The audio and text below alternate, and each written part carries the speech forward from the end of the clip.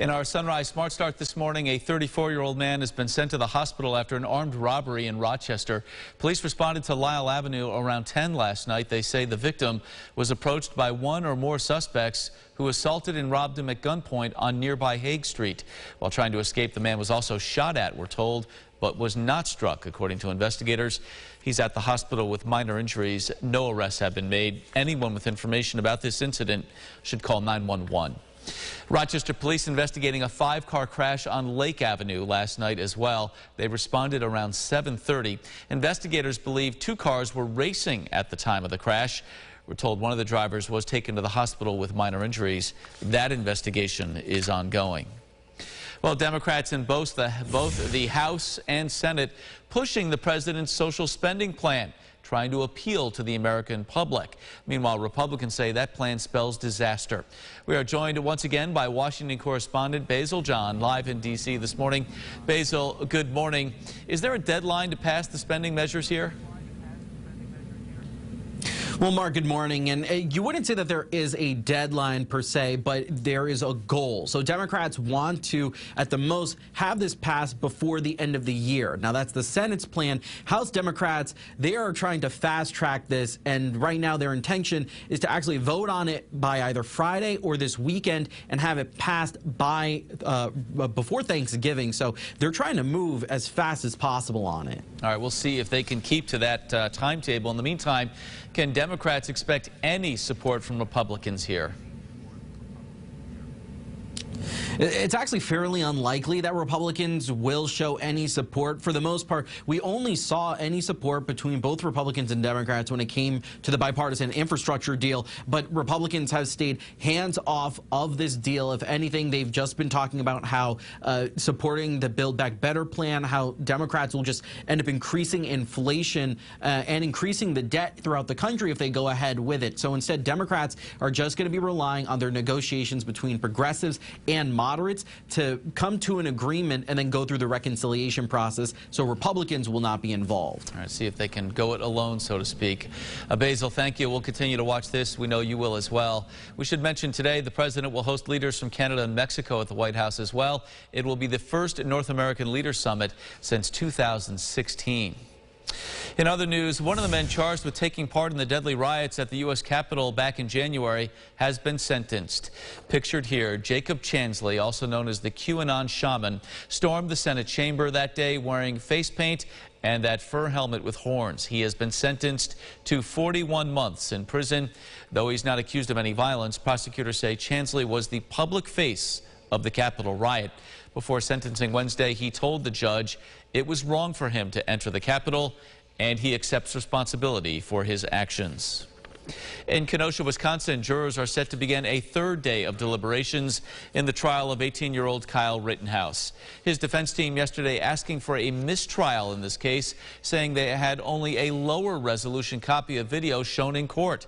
Rittenhouse faces five counts, including first-degree intentional homicide for killing two men and seriously injuring, another during those protests in Kenosha last year. Well, two of the three men convicted of assassinating Malcolm X more than a half a century ago are now set to be exonerated. The Manhattan District Attorney apologizing to the two men, saying they did not get the justice they deserved. Muhammad Aziz and Khalil Islam were convicted in the 1965 assassination of the civil rights leader. Now, 55 years later, their sentences will be vacated after an investigation found prosecutors, the FBI, and police withheld information that should have cleared their names. A third man, Talmadge Hayer, eventually confessed to the murder in 1966, but Aziz and Islam were still charged in the case. All right, James, uh, taking a look at the forecast this morning, warm but uh, wet as well. We saw some evidence of that in our most recent sunrise traffic report. Yep, yeah, wet roads certainly. Uh, if you tried to get uh, out before the rain arrives, well, you missed your window. Unless you're in Wayne County, maybe you just have a ride along 31, then you're in good shape. You've got a little bit more. Same with the Finger Lakes, uh, still holding off there. But if you're in Rochester, you're on the west side, you're seeing rain. It's going to rain off and on for pretty much the rest of the morning. It'll be a soaker of a start to the day. Uh, you see those rain chances up to near 100% uh, for the next few hours. Then that percentage drops, as well as the temperatures. It'll be cooler this afternoon, but it will certainly be drier. Mark? All right, uh, James, uh, thank you. Another check of the roads, as we mentioned, with our sunrise traffic. Uh, still paying attention to 390, right on cue. A live look here. There was an earlier accident in the southbound lane at Brooks Ave, but uh, you see things are flowing much better now. 490, 590 up to speed at last check as well. In other news, a Rochester woman charged in a fatal hit and run has been found not guilty of murder. Police say 24-year-old Angelina Griffin intentionally struck and killed 34-year-old Omar Coker after Coker had robbed Griffin last February on Council Rock Avenue in Brighton. Griffin has been cleared of that murder charge, but was found guilty of leaving the scene of an accident. Well, bail has been set for the 21-year-old accused of murdering a 47-year-old woman with a hatchet. Joseph Rivera pleaded not guilty to charges associated with the murder of Heather Majors back in July. Rivera was originally held without bail, but according to his attorney, that bail has now been set at $1 million. Rivera is due back in court next month with a trial date set for late March.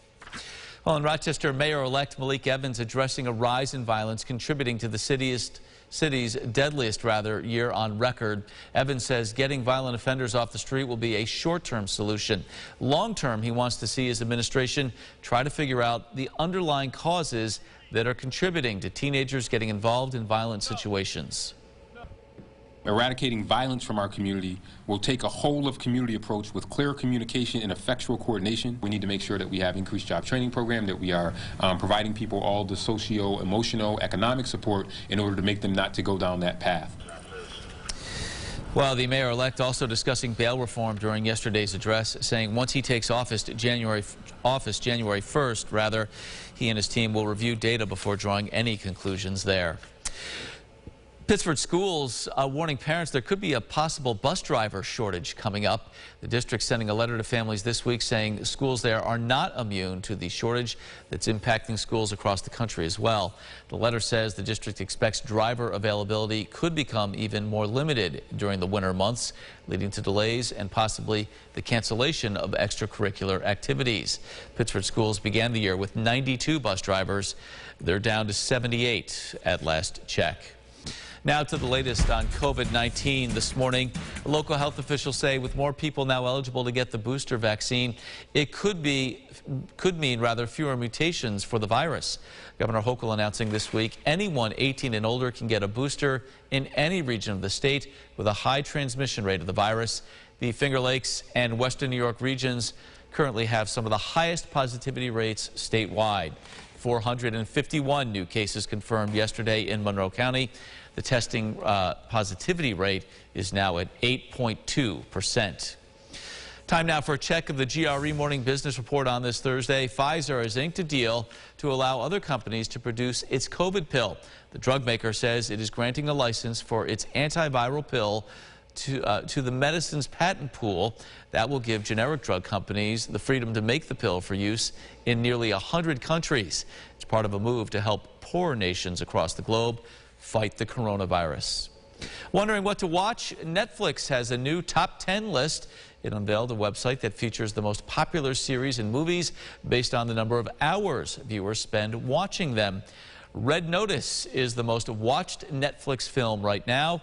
Squid Game topped the list of non-English shows.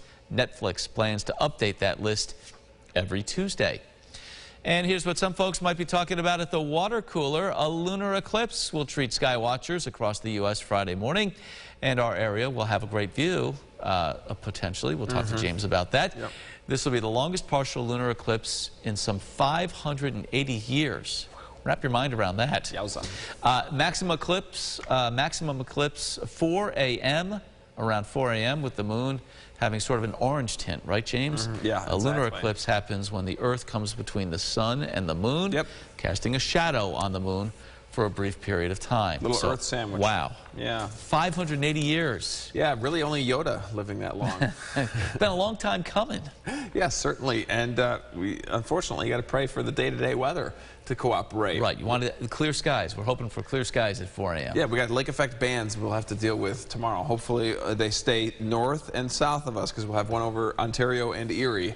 So we'll cross our fingers there. But right now, dealing with rain showers. It's uh, probably raining where you are. Most of Monroe County socked in with rain. If you're a little bit further east of us, you're still dry. Canandaigua still dry. You're waiting on the rain showers, but you get them eventually and return much cooler over the next several days. All right, James, as we take a look at the 8 day, we say that is it for now.